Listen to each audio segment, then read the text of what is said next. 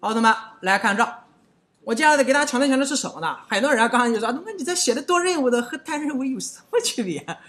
区别在于哪呢？同学们要注意听，要注意听。原来的时候呢，咱们没有在这个位置创建多进程也罢，也没有创建多线程的时候，不是也能实现我的浏览器可以访问吗？那么我用了多进程之后有什么好处呢？它好处是在此，同学们，我简单的来找个图来给大家描述一下啊。我简单在这个地方用它来描述一下。假如说这是一个客户端，这个圆圈呢是咱们原来所说那个服务器。如果要是单任务的话呢，咱们可以简单的这么理解：你过来的请求的时候，服务器忙着为你服务。如果这个期间又来了一个、两个浏览器，那么这两个浏览器。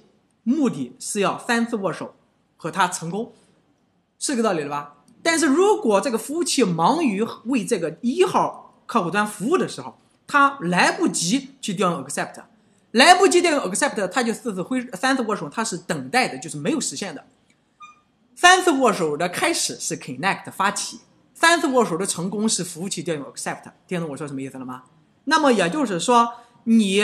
服务器 S 正在为一这个浏览器服务着呢，没有时间倒过头来调用 accept，因此导致了二这个浏览器呢，它会在这个地方等待三次握手的成功，即 connect 成功。当一成功之后，你的数据不是立马就过去了吗？请求就过去了，那么接下来他才为你服务。那么这个期间，如果还有一个哥们是三号，那么三号的目的也是想三次握手和他成功，那么三号也会在这个地方卡着。这么做能理解了吗？那么多任务怎么一个体现呢？因为我刚刚确确实实只有一个浏览器，你体现不出来。如果你有一万个浏览器，我告诉你，效果就绝对不一样了。你要设想一个场景，你真正做的网站是有很多人一起访问的呀，对吧？那么这个时候很尴尬一件事情是，你如果先打开浏览器啊，你看到页面了，后面那个哥们如果在那个等，后面那个哥们是不是相当不爽呀？那我怎么办呢？问题就落在了我怎么才能做到对一服务的时候。我可以单独为他服务，同时二来了，我单独为他服务，同时三来了，我单独为呃单独为他服务，这么说理解了吧？我是怎么办的呢？假如说一二三这三个浏览器的请求，基于三次握手的请求来了，我在我的主进程里边，我循环调用 while true，我调一个 while true，请问同学们是否也意味着我 accept 得到了一个值了吧？假如说我先得到了一号的链接。那么一调用 accept，操作系统底层四次挥手，呃三次握手就成功了。那么接下来你创建一个子进程，单独为一号浏览器服务。那么有可能呢，我的主进程呢，在紧接着一循环的时候，又立马 accept 得到了一个，我再创建一个主进程为他服务，呃，创建一个子进程为他服务。我在主进程再去服再去循环的时候，又得到了一个请求，我再创一个子进程为他服务。那么最终实现的效果就是说，有可能。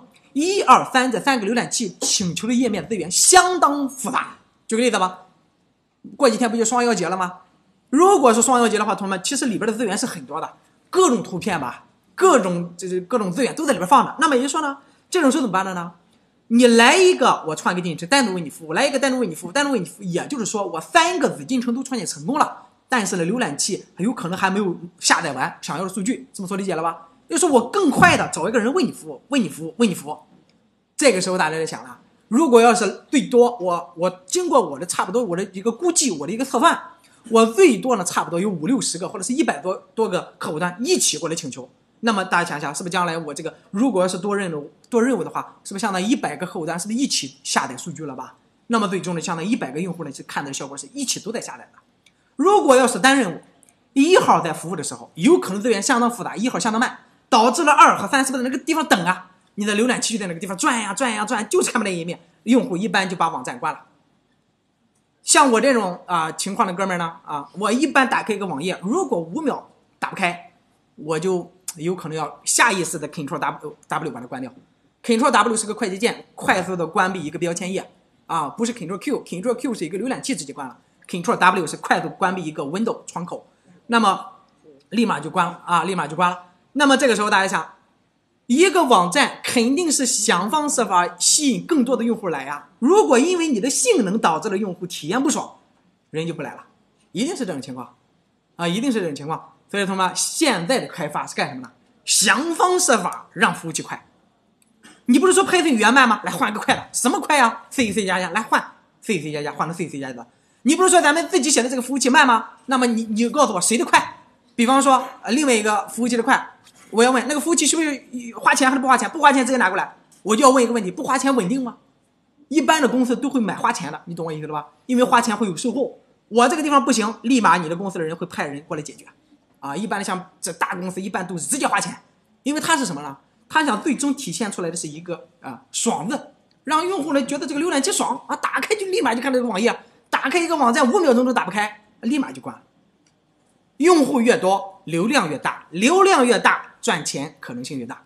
如果你要是有十，你就这么说同学们，如果你自己以后做了个网站，自己做了个博客，你有十万个用户量，那么告诉你，将来每个月赚很多的钱都没有任何问题。真的，这是真的。光放广告，一个月挣个一万两万的，一点问题都不成啊，不不在话下。那么将来还不包括合作的一些东西啊，对吧？放一些软文啊，放一些其他乱七八糟的东西，这都是可以赚钱的啊。好了，那么基本上现在我就刚刚给大家说了一个点，通过多进程和多线程的目的只有一个，是不是相当于同一时刻为多个浏览器是不是一起服务啊？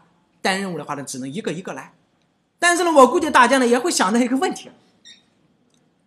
我如果要是同一时刻涌入过来了一百个链接，你创建一百个进程，可不可以这么理解啊？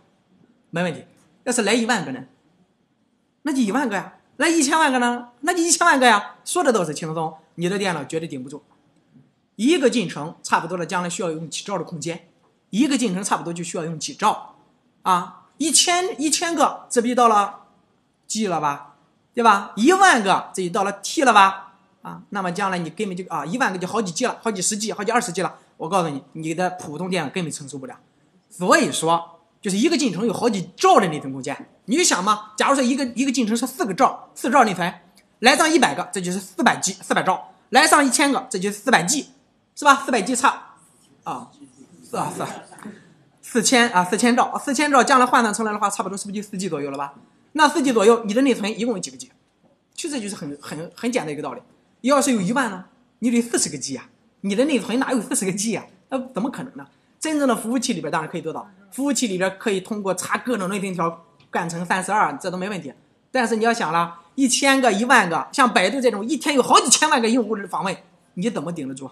所以说，最终我表达了一个意思：单任务不如多任务的好。多任务的你不能进程越多越好，也不能线程越多越好。这么做明白吧？你会用什么呢？进城一定资源比县城大，这是话都不用说，这肯定的吧？那么一千个、一万个县城，理论上讲，东哥是不是也可以啊？理论上讲是这么回事，但是呢，你我还是不怎么建议啊。用什么东西呢？你想想用什么？携程。那么咱们原来用过什么东西的携程啊？是不是用过几亿问他们同学？对。那么接下来咱的一个目的啊，咱们先下课休息，休息完之后，你想一个问题。进城、县城都实现了，那么用携程应该怎么做？那么将来用携程能顶得住一万的话，那进程有可能就顶不住。这么说理解了吧？啊，咱们休息，接下来十分钟啊。